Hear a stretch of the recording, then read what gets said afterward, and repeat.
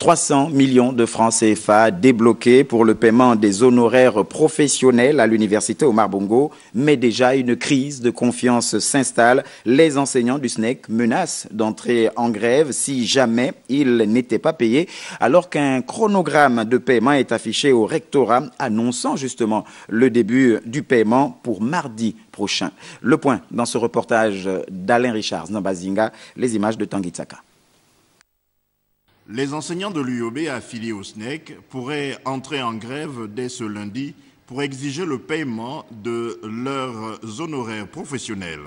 En effet, les pouvoirs publics ont débloqué une enveloppe de 300 millions de francs CFA pour la cause, mais ces derniers évoquent le manque de confiance au regard des expériences passées.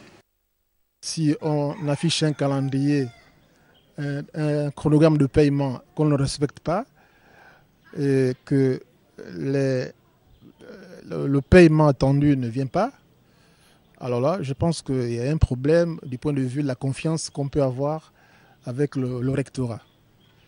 C'est dans cette optique que nous sommes dit que d'ici lundi, rien n'est fait, alors nous allons bloquer les activités, euh, nous allons encore bloquer les activités pédagogiques. Le recteur de l'université avance que le paiement de ces honoraires professionnels se fait régulièrement malgré les tensions de trésorerie.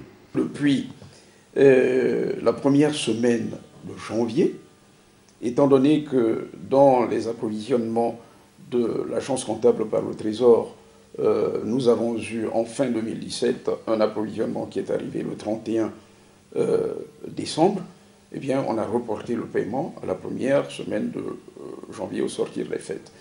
De cette première semaine de janvier, depuis cette, semaine, euh, cette première semaine de janvier jusqu'à maintenant, eh bien, les paiements de ces honoraires professionnels sont faits de manière continue. Il n'y a pas eu interruption. Sur place, à l'université, un chronogramme de paiement est affiché. Mais le président du SNEC UOB estime que ce n'est pas la première fois qu'un tel document est placardé au mur sans effet. La grève est souvent la, dernière option, mais on, a souvent interpellé, y compris même les autorités ministérielles, par rapport au retard causé par euh, le non-respect du chronogramme de paiement. Donc, euh, euh, on a souvent interpellé avant de passer à une décision finale. Les autorités rectorales se défendent d'avoir affiché ce chronogramme sous la pression pour inhiber les velléités de grève. Ce n'est pas sous pression. Je voudrais vous rappeler quand même que le rôle du rectorat, sauf à considérer que les personnels qui dirigent au niveau académique, doyens, recteurs, sont des tarés, ce qui n'est pas le cas personne ne pourra faire la démonstration qu'on est arrivé ici pour lutter contre les enseignants. On est arrivé ici pour brimer les enseignants.